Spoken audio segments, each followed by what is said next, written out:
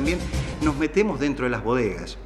¿Por qué? Porque el turista hoy que está llegando a San Rafael es ávido este, de conocer qué es lo que realizamos nosotros con las uvas y este, esta bebida que hoy nos, que, es característica de esta región, característica de Mendoza, tenemos que presentarla de la mejor manera posible.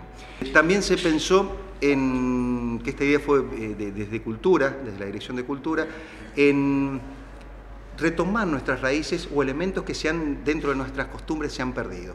Día 24 en Finca El Nevado se vuelve a retomar, se vuelve a realizar el brindis de las reinas. Porque lo que buscamos nosotros es que las bodegas interactúen con la gente y la gente empiece a conocer de vinos. Cuando hablamos de gente estamos hablando de turistas y estamos hablando de los mismos sanrafaelinos. Eh, desde las distintas áreas de la municipalidad también se está trabajando con la Facultad de Ciencias Aplicadas a la Industria, donde se va a hacer una cata dirigida acá a la Dirección de Turismo el día 17 para todas aquellas personas que quieran descubrir esto tan bello que es el día de, que, es el, vino, ¿no es cierto? Vamos a, compartir experiencia, sabores, sentimientos. Qué mejor que esté la Facultad de Ciencias Aplicadas a la Industria con todos sus enólogos explicando cuáles son los secretos y vamos descubriendo en todo esto qué es lo que es el vino y qué es lo que es el mundo del vino. Donde van a haber importantes shows este, dentro de Finca El Nevado.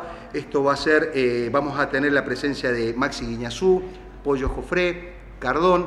Esto eh, va, a iniciar el día 24, como dijimos, a partir de las 20 horas, 20, 20, 30, con entrada libre y gratuita. Dentro de ese marco hay bodegas artesanales que se van a presentar, porque también tenemos que abrir el juego a las bodegas chicas. Estamos armando un, junto con la, con la un camino, un, camino de bodegas artesanales. Entonces, estos primeros eh, movimientos que estamos haciendo es para que la gente vaya descubriendo que hay pequeñas bodegas, pequeños productores que viven en su propia bodega, que están haciendo los vinos sumamente competitivos. Estamos metiéndolos dentro del mercado. Esto cuando hablamos de entrada libre y gratuita, pero es una entrada numerada, va a ser para 300 personas. La intención de todo esto es que pasen a retirar por la Dirección de Turismo las entradas que se van a canjear por una, por una leche larga vida, por una caja de leche larga vida, porque también trabajamos sobre el proyecto de responsabilidad social empresarial. Entonces, qué mejor poder brindar algo hacia la comunidad y la comunidad empresarial, ya que aporta muchísimo las bodegas, brindando un lugar, brindando todos estos vinos, porque estamos hablando de más de 20 bodegas que que van a presentar sus vinos, los van a degustar, este, puedan devolverle algo a aquellos comedores, a aquellos lugares que tanto lo necesitan.